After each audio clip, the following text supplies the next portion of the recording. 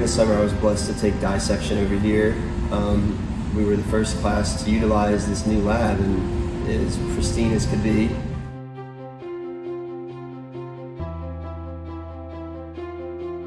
Every day you come to the lab, you learn something new.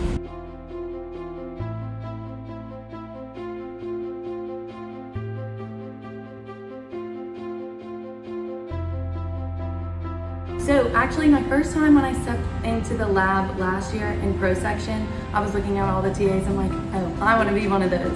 So being a TA, it's super fun. We get to come in. It's definitely like the highlight of my day. It's just coming in, seeing my friends, seeing the students and just getting to talk about anatomy. So having the privilege to like share that joy of teaching with Dr. Thompson and Dr. Dave Matthews has just been so awesome. I really wanted to be a TA, so just to see what that was like and like teach other kids, because I remember how cool it was when I was doing it, like looking at the TAs and just seeing how much like they knew.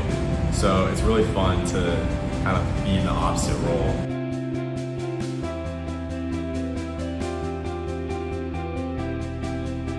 I think it will definitely help me in my career path. This lab is very preparatory towards what you see in the medical field as well as really any other health field. So I feel like that's going to be a very cutting edge for me. And getting to see it here and now, um, getting this first exposure will definitely help me in the future when I see it again in medical school. I think this is one of the most beneficial selection of courses I could have taken being a pre-health student.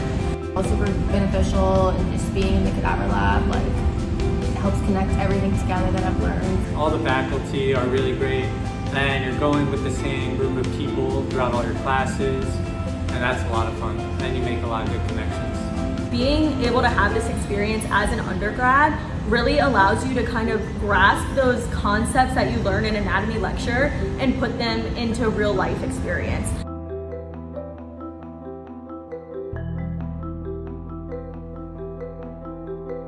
I really don't think there's any class or course at LSU that facilitates learning like Cadaver Lab does. Being exposed to this really early on definitely helped um, my experience and made me more intrigued in the field itself.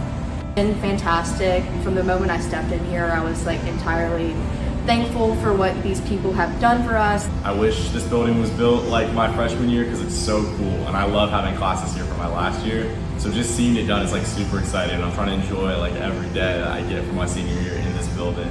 So I'm super thankful for the family and everyone that made this lab possible. Um, this has been a great attribute to my uh, education at LSU. It's really an invaluable class to me, along with so many of the kinesiology faculty, whether it's through research or classes or counseling.